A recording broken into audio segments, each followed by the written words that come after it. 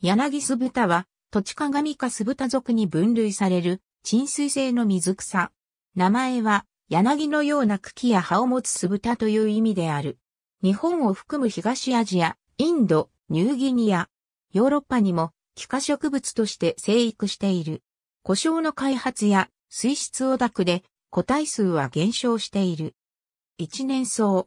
茎は地中に匍匐して伸長し、節から根を多く伸ばす。茎はよく分子し、長さ5から25センチメートルの線形葉を互生する。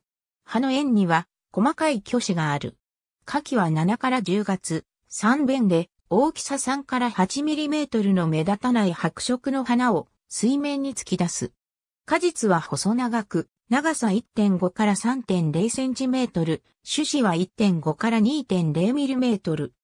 種子に突起はなく、種子表面も同族の酢豚と違って平滑である。同族の酢豚やセット柳酢豚などに似る。酢豚は根生で茎が分子しないため、容易に区別できる。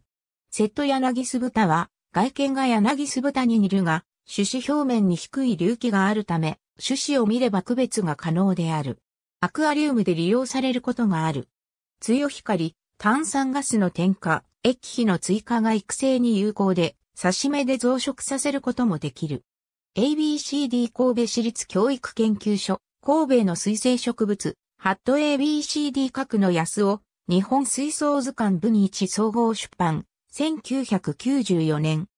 P24ABCDEF、岡山鍵盤レッドデータブック 2009P220、愛知県イカンタバ植物レッドリスト P252、吉野聡、世界の水草728種図鑑、アクアリウムビオトープ MPJ、2005年。